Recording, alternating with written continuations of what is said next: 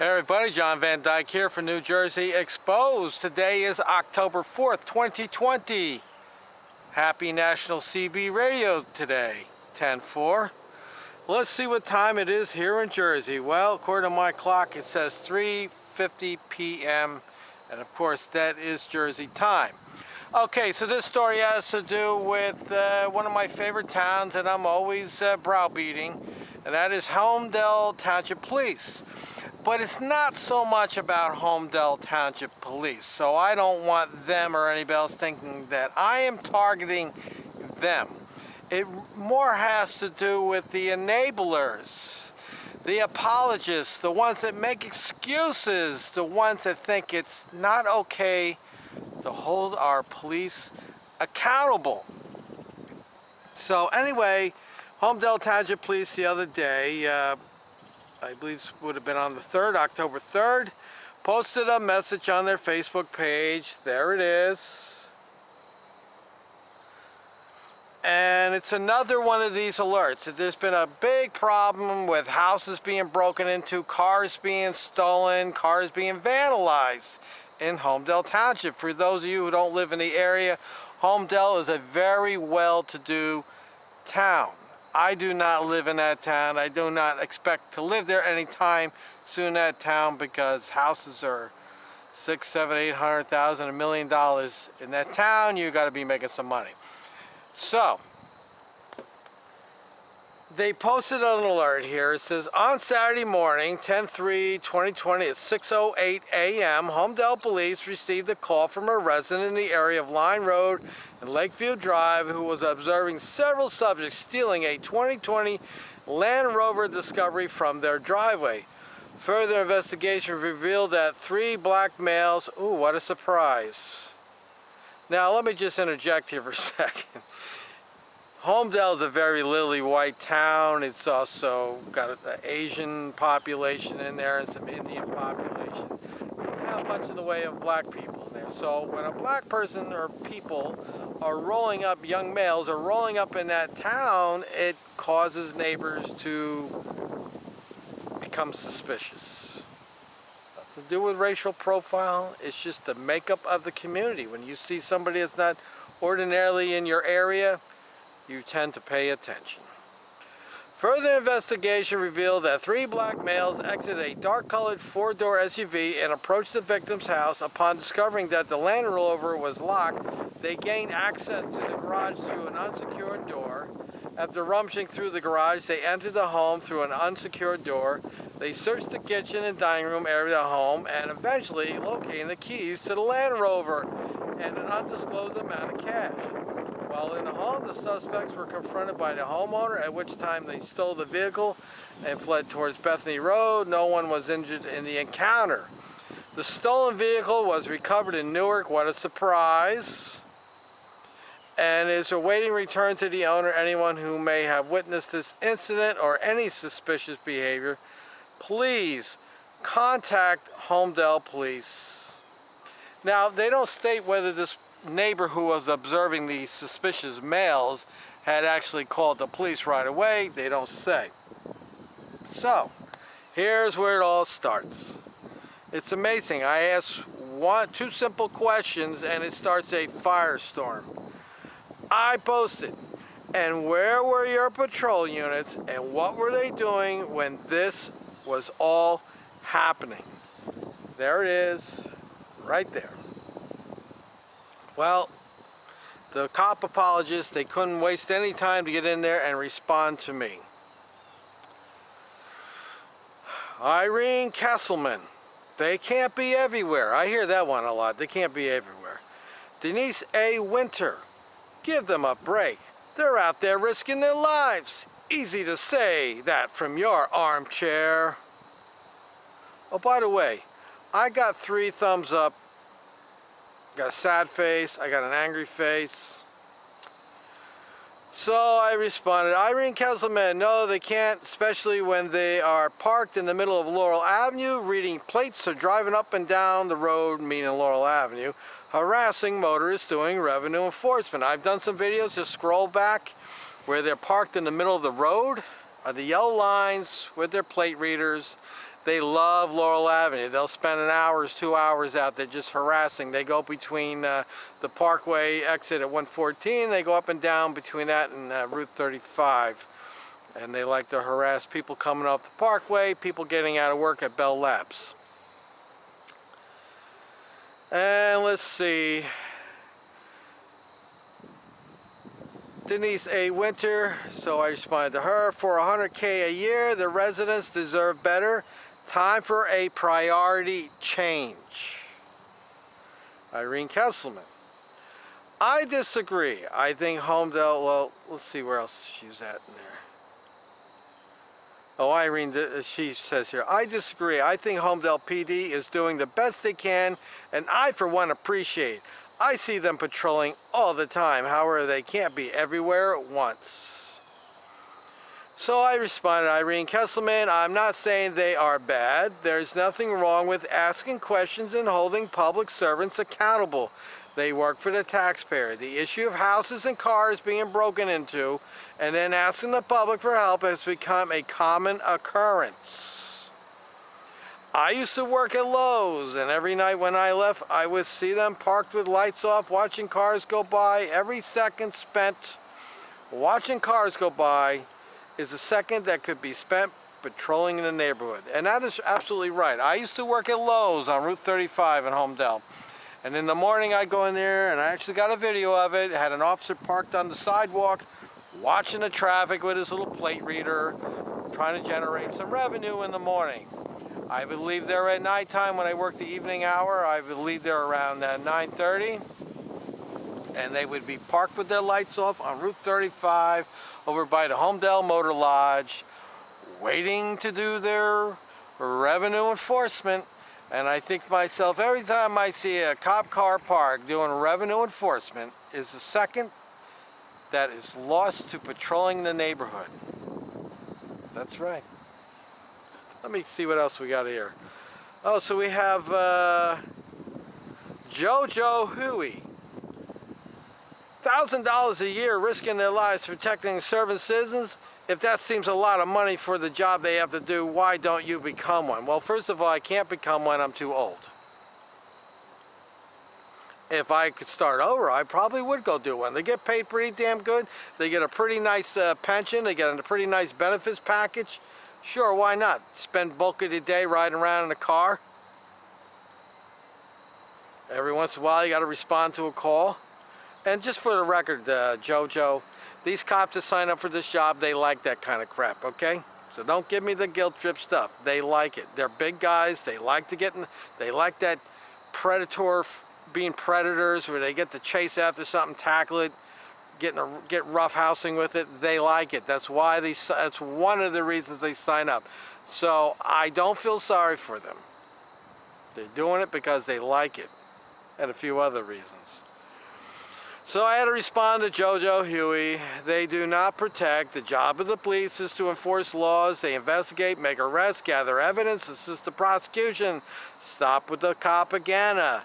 There is nothing wrong with questioning our public servants who work for us and holding them accountable. Jojo Huey. I used to work for city government. Well, what a surprise. Another cog in the wheel. You should give it a try and see how irritating it is for someone to tell you they pay your salary. Well, that's too bad that you don't like your employer telling you, reminding you who pays your salary. And for the record, I did work for a government. I worked for the Parks Department. I worked for the Department of Environmental Protection at a state park. I see how public employees are. There's no ambition to do anything. They generally speaking are cogs in the wheel.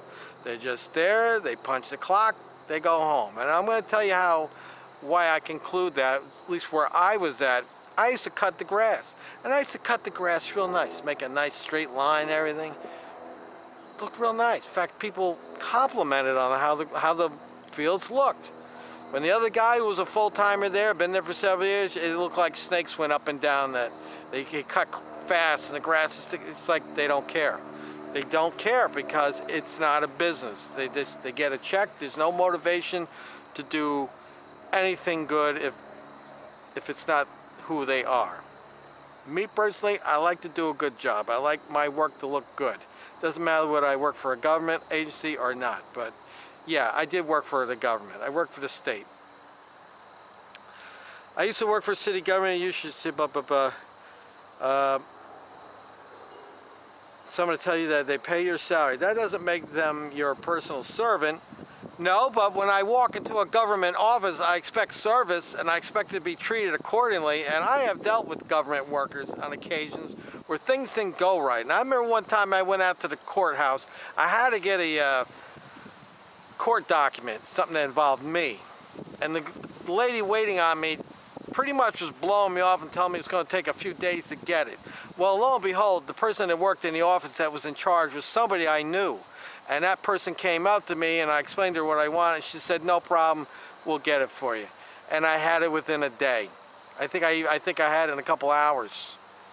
So I understand what goes on. And I, in my own course of business, when I was had my own business, I dealt with uh, Board of Eds and municipality governments, and there were some that were like, worked very hard, they were good people, and there was others, they were just punching that clock. Uh, Copacabana, how cute. They do protect, like I said. You find the lack of pay so inviting for what they put up with and feel you should could or could do a better job, by all means get certified and be who you think they should be. The fake profile picture and name would have to change though because servants, there's someone nosing into your business. Well, first of all, my name is who I am. I don't put all my personal business on Facebook for obvious reasons. First, between the stalkers and the nut jobs and the government, I don't put all my personal business out there. So, sorry to disappoint you there, Jojo Huey. And they do not protect. They enforce laws. The protecting is a byproduct of the law of the enforcement. If somebody is beating you up and the officer drives by and sees you getting beat up, that's a violation of law if you don't want to be beat up. So the officer will jump out of the car and he will do his thing and you will be protected because the officer has stopped you from being assaulted as far as them risking their lives every day. We all risk our lives every day. Every time we get in a car and go down the road, we are risking our lives. Particularly now if you're white, you're risking your life going out in public because you got these loonies out there that seem to have an issue with white people. So, I don't buy it. Not around here anyway. Maybe in the city, it's a little bit different. I'm talking about around here. Now, with the present climate, where, you know, all these videos are out there about how the crap the cops are doing are perpetrating on people. Yeah, there's some nut jobs out there that want to want to even the score. And bad things are happening to cops that necessarily don't don't deserve that. I don't think cops deserve to be shot, killed, or hurt, or anything. I don't believe anybody, unless you've done something so tremendously bad that you deserve to get get. So yeah. I'm not buying into it. Uh, but it just seems, uh, let me see what else we got on here. Oh, Johnny Slots, he put on their uh, priority change. Well, priority change meaning that you should be out there patrolling and protecting the neighborhood. Not sitting on the side of the road, driving up and down Laurel Avenue, or parked in the middle of the road with the plate readers, harassing people and trying to generate revenue. And these cops are being exploited by the town governing body to go out and generate revenue because the town councils put into the budget a, a uh, anticipated court fines revenue line item. Holmdel happened to be last year, 2019, was $525,000. So where do you think all that money's coming from? It's coming from the cops. Yeah. So the priority change is they need to stop with the revenue enforcement. They need to start getting back and patrolling the neighborhood. Stop hanging out on the highways looking for something to do. But they don't want to go around patrol the neighborhoods because it's boring. After a while, it gets boring driving around in circles up and down road. They don't like that. They'd rather pull somebody over because they know if they pull somebody over, they can uh, get them out of the car and pretend they smelled alcohol or pretend they smelled pot. You know, they pull you over, you, you don't look right. You got your hat on sideways. Maybe you, you've got the, uh, the, the urban look or something. And it's, this is what they'd rather do because that generates arrests, which the cop gets an attaboy. It generates revenue for the town because they get fined. But these cop apologists out there, they just, I don't know, they live in a glass bubble. They, they, I, they fall for that Copaganda, and I've said it before, you, you got to give the cops credit on the Copaganda. I mean, they really have sold it lock, stock, and barrel, and there's so many people out there have taken it. But these people, I, I, I'm beginning to think that even if I show them 100 videos or 2,000 videos of cops disrespecting citizens, if I pointed out and showed them the statistic of how much millions of dollars that bad police cost taxpayers, they wouldn't believe it. They wouldn't believe it. So, okay, so let me know what you think about it. We have these enablers, that think that you should not question what the police do, think you should not ask them to justify their actions. You shouldn't do anything. You should just trust them because they're there to protect you, right? Protect you, serve you. Where would we be without you? I don't know. There's a lot of people in this country that are, are you know, it's, it's lily whites. You know, lily. I've said lily whites. They live in fear and. Uh, they, they just, they, their perception is that the police are there to protect them. And uh, maybe there are some police out there that generally want to go out there and want to protect people. But for the most part, they're just out there enforcing laws, doing what they're told to do, which is primarily generate revenue. All right, let me know what you think about that story. We'll post a link to the Facebook page. You go check it out. I screenshot some of the uh, the stuff that I just talked about. I'll put it in the uh, the video here. If you want to stop, you can look at it yourself. Till next time, people, it's John Van Dyke for New Jersey Expose. And one quick thing here, kind of crisp out here today in New Jersey. It's uh, upper 50s, lower 60s, sunshine for most of the day, but Clouds are rolling in. I'm not so sure what's going to happen tomorrow, but uh, still nice out here. A little breezy. Till next time, people.